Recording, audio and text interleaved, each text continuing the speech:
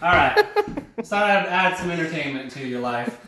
Uh, some of these videos kind of get boring, so I just thought I'd be an idiot today.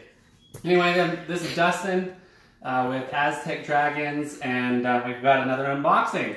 Uh, what I'm doing. Anyway, um, we've been waiting for these for a long time. We used to have, let's see, we used to have three pairs and another male. Um, these are Abronia graminea. And we used to have them, but we had to move, and unfortunately, we had to let our um, our group, our colony, go. Uh, we sold them to somebody with uh, Living Planet Aquarium, and as far as I know, they're doing really well. Um, so it was really sad when that, that happened, but we're finally getting them back in. Um, we're going to gradually build up our colony. We're hoping to branch out to, to different um, species. This is Graminea, which is the green ones. They're commonly known as Mexican, um, gosh, mind blank, Mexican alligator lizards. And um, they are, um, these are captive bred ones and but they originate out of Mexico. They live in the cloud forests where um, super humid there, and um, they call it the cloud forest just because the humidity. It's up higher in the mountains, and it's just a constant cloud there of, of humidity. And so they live in, in cool temperatures, uh, ranging, you know, from I think around 30, 40 degrees at the very lowest, um, up on to about 70, 80 90. You really don't want to get these guys any hotter than 90, 100 degrees. Um, that uh, can be very detrimental to them. they do require uh, high humidity. They're an arboreal uh, lizard, and so they um, do well in screened cages, um, similar to chameleons and such. So um, anyway, we're really excited to have these guys. They are the coolest lizards. They have um, prehensile tails, which means that they can use their tail as, as a limb, or rather, it's somewhat similar to crested geckos. They can they have function with their tail. They can wrap it around things and use it to hold on to things. Excuse me. They also can lose their tail, but they can regenerate it as well. Anyway, a bunch of fun facts. I think we'll do some other videos later on, give you some more information, but let's go ahead and get to this unboxing. Um, these guys have been in here. Um, for, I mean, they, we did the 24 hour shipping, but I think that they were shipped um, to our supplier and then to us. We want to get these guys out. And uh, I've got two tubs here. Um, they're full with just a very shallow level of water. And that is so that we can get them hydrated, make sure that they are have plenty of water.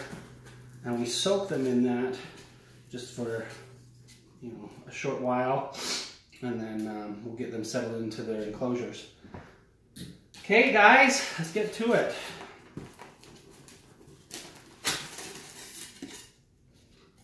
And we got a pair. So it looks like this is our female. And um, she's upside down. These guys do bite. They bite pretty, uh, pretty hard when they do. Um,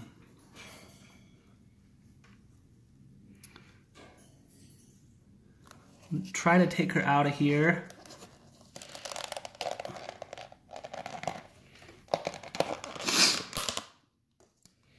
See what kind of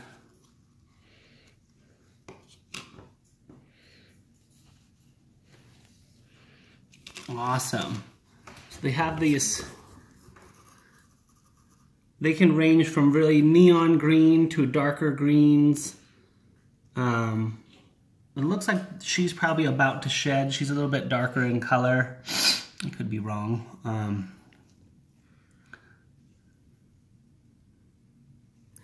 and I'm shaking, so see if I can get her to hang out here. There we go. Um, they do breed, uh, excuse me, they do give their live bearers so, um, and this would be the time where they, they would give birth anywhere through um, May, June, April. they can give birth. Uh, it doesn't look like she's pregnant. There's a possibility, but I don't really think so. Um, she's just got her arm, other arm tucked under here. But um, they do have this prehensile, prehensile, I'm probably pronouncing that wrong. See, they can wrap around.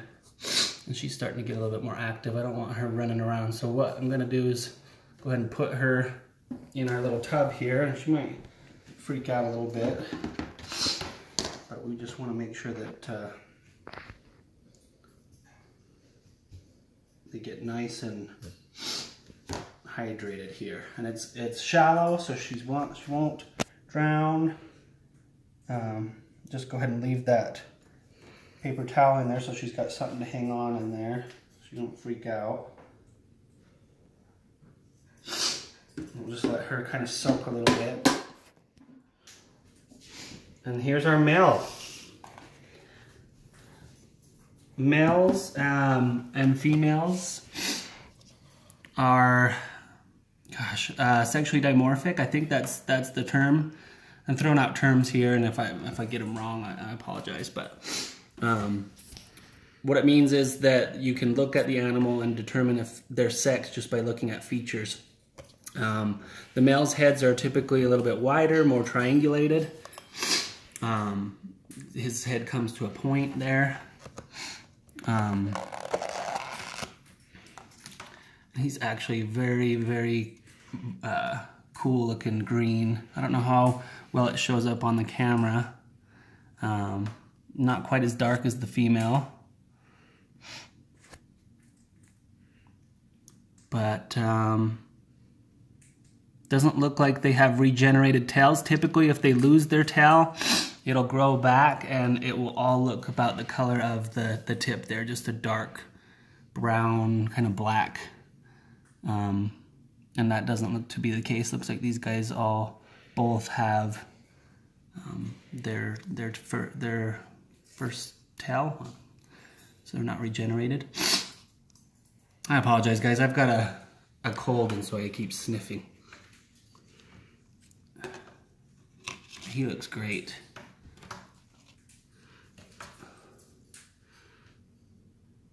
Nice yellowing around the eyes, and they typically have blue eyes.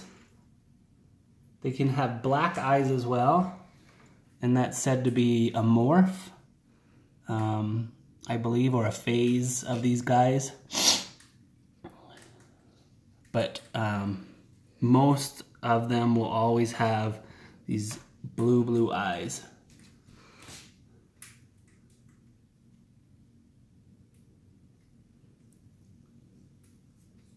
Beautiful animal. Love these guys. Um, like I said, they do give live birth, and um, they they carry at the same length of time as a human. So they their um, pregnancy time is nine months typically. They can carry uh, anywhere from six babies on up to a, a lot, like 15, 16, somewhere around there. So they can actually carry quite a bit. Anyway, we're gonna go ahead and get these guys soaking. We'll get some update videos on them.